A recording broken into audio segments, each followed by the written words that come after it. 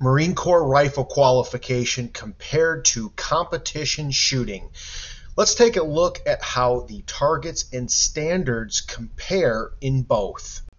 The Marine Corps qualification, what is currently called Table 1 of the Marine Corps Qual, is a version of the National Match Course. You shoot a series of shots from slow fire, in this case from sitting, kneeling, and standing at 200. There are rapid fire strings at 200 and 300 and a slow fire phase at 500. The current Marine Corps qualification targets are derived from old National Match Course targets. There's an A target or able target used for the slow fire portions at 200 and 300, a D or dog target for the rapid fire phases at 200 and 300, and a B modified target which is used at 500. These Marine Corps qualification targets are based on older national match course targets. You'll notice the previous target, the target A, had a 10 inch circle for the five ring and instead of the larger 12 inch that's currently used. Also notice the target used at 500, the B target, that was the original one. You'll notice it's a 20 inch circle with a 37 inch four ring the Marine Corps made the four ring larger, expanding it out to 40 inches. And instead of using an aiming mark that was a circle, they use a full size silhouette that is now 40 inches tall and 20 inches wide. To give a size comparison, here is the Marine Corps B modified target with on the far right a full size Jeep, the figure 11 target, which is used in some service condition matches, and on the far left, some IPSC steel targets. This is the national match course as typically used in competition.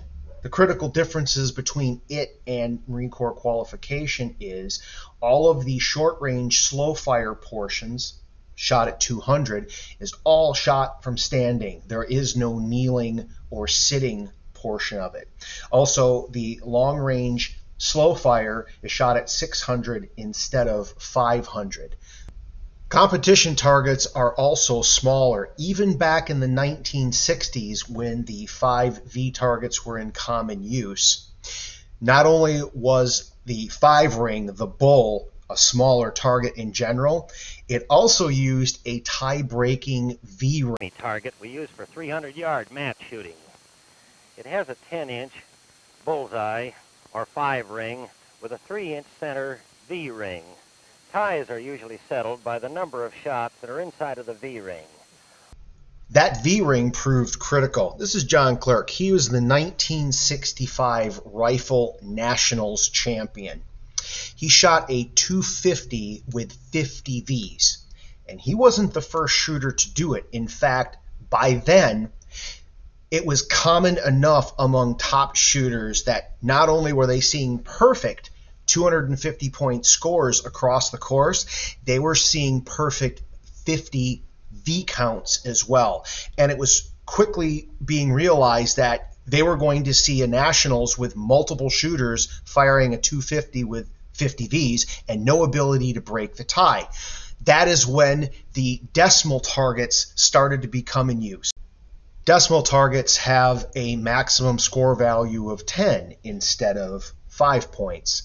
They also have an X ring inside the 10 ring as a tiebreaker versus a V ring. If you think of your Roman numerals, you understand why. The key point here is the size of the scoring rings, not the shape of the aiming mark or the bull the size of a bullseye, if it's a black circle, for example, that's just a mark that you set your sights to. We can use a silhouette with scoring rings that are inside of it, internal to that, meaning that it requires a greater degree of accuracy than merely hitting the silhouette anywhere and saying that is always five points. For a size comparison, this is the B mod qualification target overlaid on an MR competition target. The MR target is the exact same dimensions as the MR1, which is shot at 600 yards instead of 500. The only difference there being that the seven ring is black on that target. So you can see the big difference there. The four and five ring completely engulf the seven ring and extend clear out to the six ring on the competition target. Shots that might give you full value on a qualification might score six out of 10 points on a competition target. But wait, competition shooters get to use fancy match grade equipment. You can't rightfully compare their results to qualification. Well, that is a popular excuse, and once again, your excuse is invalid. See, we've tested this. Service conditions competitions requires the use of issue equipment and uniforms. That is, we shoot these matches with the same equipment that you qualify on. M16, M4, right from the arms room with issue ball ammunition, M855 green tip, or whatever happens to be current issue. We also shoot on service matches, the national match course, with these rifles. And we've had championship level national match course competitors on these service condition teams. What kind of result difference do they get? About 10%. That is the difference between high dollar, fancy, match grade equipment, firearms, ammunition, etc., versus the exact same ammo and weapons that you have in your arms room right now 10%. And that's not unique to national match course shooting. Uh, I've done comparisons of things like USPSA classifiers, comparing open class versus production. What are the cutoffs for different classification brackets, for example?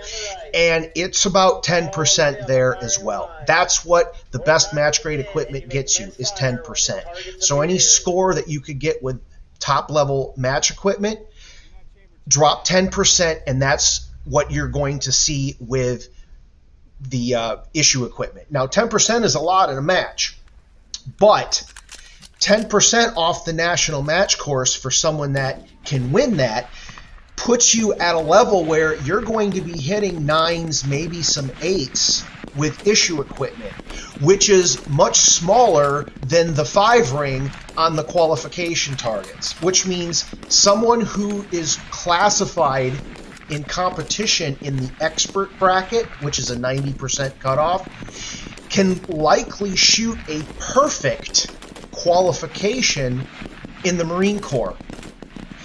And you don't have to shoot a perfect score, a 250, to earn an expert qualification because you only need to shoot a 220 for that. Oh wait, but you don't even have to shoot 220 anymore because uh, you add in the score from table two, add that together, and as long as the aggregate is 305 or better, now you made expert. That's the primary difference. The targets used in competition are much more stringent. The shooters are far better. Just as an example, I published a book some years ago called Beyond Expert. And I typically found that the cutoff from expert qualification, even sometimes a perfect qualification, a shooter would likely have to become three times better than that in order to have a high level result in a competition. Notice I didn't say win a championship. I mean to earn higher level honors, like earn your Distinguished Rifleman badge, earn a master classification, and the like. You making an expert qual means that you need to triple your results if you want to be effective compared to competitive shooting. And that includes if you're still using your issue equipment. That's the difference between qualification and competition. Thanks for watching. Please like, subscribe, share, comment, all the usual suspects. Let me know if you agree. Let me know if you disagree. Happy to chat with anyone that wants to talk. Thanks. Bye.